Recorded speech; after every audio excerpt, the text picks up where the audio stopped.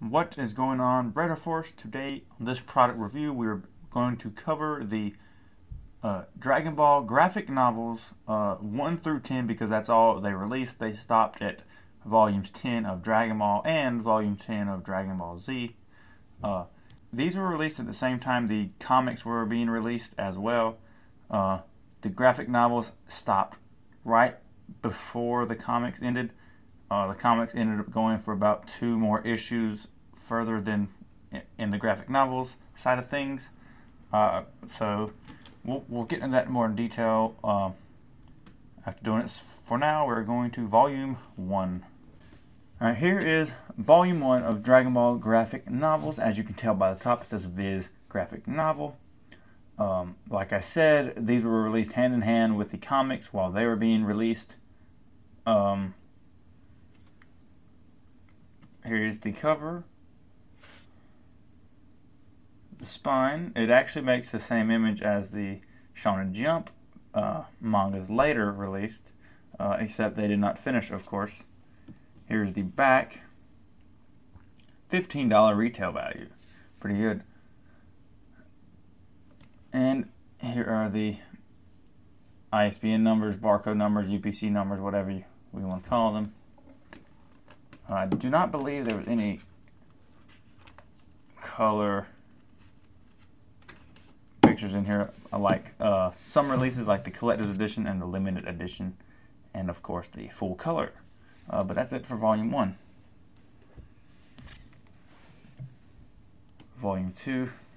And I do believe these were released late 90s, early 2000s. I believe they got they were canceled maybe 2002, 2003 question mark. Quote me in the comments below because I actually do not know. Uh, volume 2.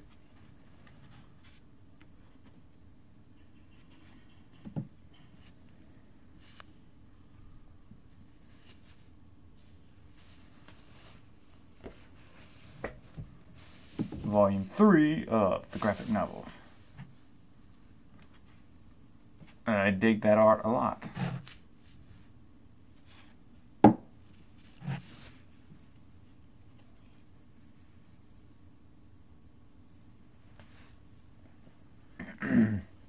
Volume 4.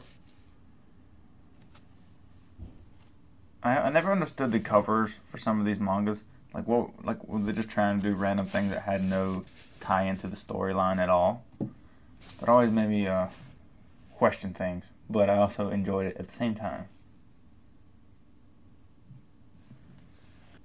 Here we have volume 5 of 42. Uh, and a fun fact to note about the graphic novels is they were actually planning on, you know, counting Dragon Ball and Dragon Ball Z into one series, obviously like Japan did, and uh, they ended up, I guess, scrapping that idea when they released Z. Now, give it that Dragon Ball Z is still called Dragon Ball Z on the graphic novel versions, but they ended up scrapping it all the way until they did the three in one editions, which I really do enjoy just for that fact.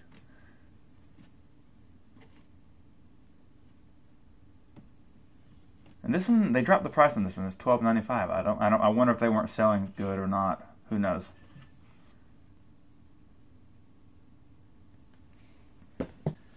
You have volume six.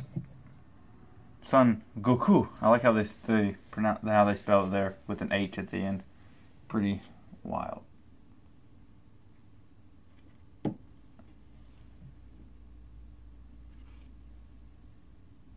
The ISBN number. Uh, I don't know how hard these are to obtain now. I actually bought them a long time ago and was missing like four or five, and then I sold them because I didn't want them. I wanted the Shonen Jump versions. And then, then, then a few years later, I decided I wanted to get all U.S. media, and I had to buy them back.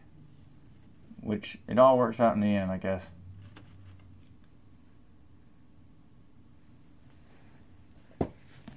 volume 8 of 42.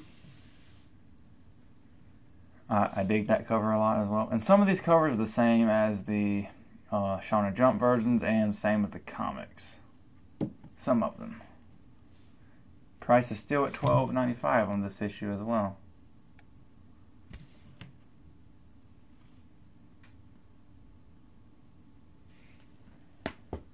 Alright, volume 9 of the Dragon Ball. This art is definitely on the comics, I believe. Could be wrong, though. Uh, I still got to do the comics for a product review because I'm very excited with that. And the back. Twelve ninety five. So yeah, they definitely dropped the prices. I'm not sure. I wonder if Z has dropped.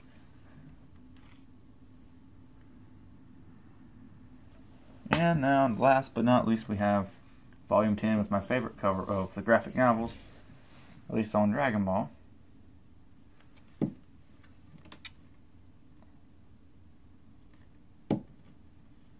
Ah.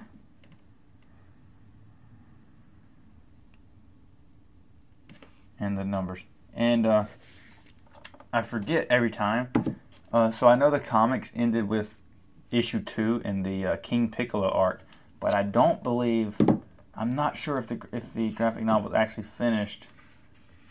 Yeah, they never finished the Tien Shinhan tournament in. Uh, they never finished the Tien Shinhan tournament in the graphic novels. But so like if you know, I'm pretty sure I could be wrong. Let me find out. Yeah, see, it, it's still with uh, Chaozu and Krillin in their match, which is wild to me. So if you're looking to get further on, then go for the comics. Uh, but obviously, if you want to finish the whole thing, go for the Shonen Jump releases or the manga box sets. Yeah, yes, uh, that is volume 10 of graphic novels. Alright guys, and that is it for this product review of the graphic novels for the original Dragon Ball 1 through 10. And also, I did never notice that too, but look at that. The uh, artwork is a little off there. Never noticed that. I don't really have these on display currently because I have so many things. But yeah, that nothing too special about these except the fact that they never finished them, they canceled them, and it, compared to the comics that the comics went on a little bit further, like they finished the Tien Shinhan saga and got into the King Piccolo, versus where this just ended at the end of the Tien Shinhan saga and never finished the final match or Krillin's match in the semifinals, I guess. Um, but yeah, other than that, uh, it's the same thing as the comics, except it just didn't go on as long. Uh, but yeah, if you guys enjoyed that video, please like, comment, and subscribe, and uh, let me know what you want to see in the next product review. Peace out, guys.